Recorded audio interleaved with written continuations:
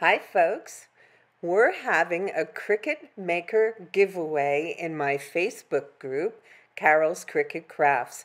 You can find a link to join the group in the pinned comment under this video.